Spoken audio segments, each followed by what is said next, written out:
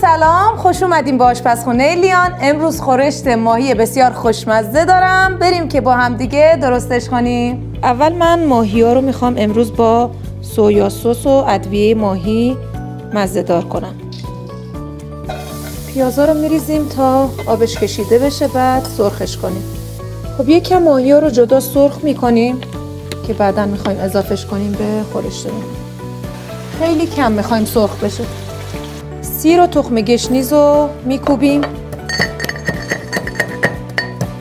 سیر و تخم گشنیزی که کوبیدیم و به پیازمون اضاف می‌کنیم و سرخ می‌کنیم. چوب دارچین، لیمو امانی و بادیان ستاره ای رو اضاف می‌کنیم. هم که تو کپشن براتون می‌نویسم.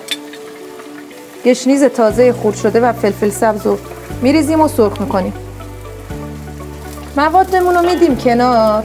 گوجه رو سرخ می‌کنیم. که بوی خامیش در بیاد و بعد به مواد اضافه کنیم.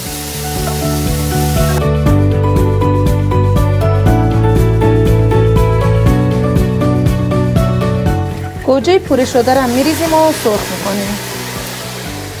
تمر هندی رو اضافه می‌کنیم. نمک رو تنظیم می‌کنیم بعد از اینکه تمر هندی رو ریختیم. تو این مرحله ماهیمون رو اضافه می‌کنیم یه لیوان آب میریزیم و می‌ذاریم به مدت ده دقیقه قل بزنه.